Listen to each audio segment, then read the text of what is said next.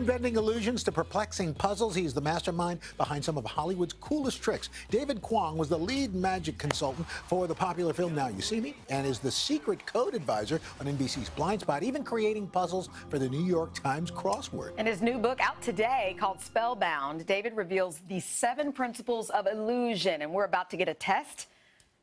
Good morning. Good morning. Test and a taste, really. Yes. Yeah. I said we're about to get a test. I meant taste. Same Yeah. difference, kind of, really. With this book, Yes. if you read this book, you can learn how to command people's attention, mm-hmm. Misdirect people, Oh.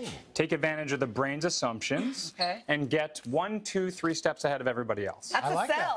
And I thought I'd do a trick for you involving getting ahead, and I got ahead with that envelope two Okay. weeks ago. Okay. Mhm. I mailed that from Canada. Oh. I was up in Vancouver at the TED Talk conference. I, I speak at the TED conference. good, nice. And it's postmarked, it's sealed, it's been with your producers the entire time. I haven't gone near it. That's my prediction. We're going to come back to that. So Okay. it's not opened. it's not open. not open. All right. Taped and everything. I'm going to Okay. do a card trick. And because I think that illusion is the science of fooling your brain, I have a deck with the periodic table of the elements on it. You can see we have uh, Einsteinium is the eight of hearts, Nobelium, uh, Praseodymium, that's a weird one. Yeah. Interesting. And uh, I'm sure you've done this before. We're going to do pick a card, any card, Okay. of course. So, uh, Al, let's just start with you. If you just say stop anytime you like. Okay, stop, Okay, I'm going to give you one card. And Okay. if you say stop again, actually, say stop. yeah, we'll get a little further down. There's a couple of cards for you. Okay. And uh, if you would just say stop anytime you Okay. like. No, say Stop. stop. Okay, cool. And then one, we're going to do it again. Just say stop, Stop. again. Oh, already. Well, hold on. Here we go. Ready? Okay. Stop. Okay, close to the top though. I like that. All right, take a look at your cards. Uh, don't worry about the pictures. Just remember like the numbers. I know three cards is hard. Just remember like a three and a king and a queen, right? Okay. And I'm going to take them back Okay. and I'm going to place them into the deck. And you can see I'm not marking where they're going. I'm just tossing them in there. I'm not bending any of the corners. And I'm going to try to track all of your playing cards. I'm going to give it a little bit of a shuffle because I'm an honest magician. And uh, let's see if I can find each of your cards. So the first one, watch this. Okay. The first one, if I cut right out of the middle, I get the King of Hearts. I believe that was the first card.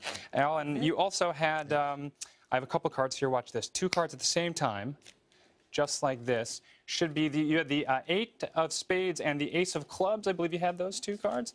Uh, I'm going to try to get uh, two more here. I'm going to get your first card. Watch this. I'm going to get one card right out of the middle, and that is your next card, the Five of Spades, I believe. Wait. These are mine. Those are yours. That's Yes. yours. You also had, I think, uh, you you have one card that's hanging out here by my elbow. Check this out. That's one card. You also had the Eight of Spades. That's a very strong card. And for the last one, uh, right here on my on my arm, watch as I use my fabric of my suit. Watch that Ten of Hearts Okay. just changes like that to the Six of Spades. Wow. But I made a prediction before. I made a prediction. Al, would you slice open the envelope? You have a, a, a- uh, you have a envelope slicer. Can you get in there? I think. Uh. This side? Yep, that's fine. Whatever, whatever you can do to get that open. I have a pair of scissors if that's hard. I was going to say, that's Just in rip do. it. Here we go. Here we go. Let's do this. Let's do this. We're going to get right in here. And I want you to pull out the piece of paper that's inside. My prediction,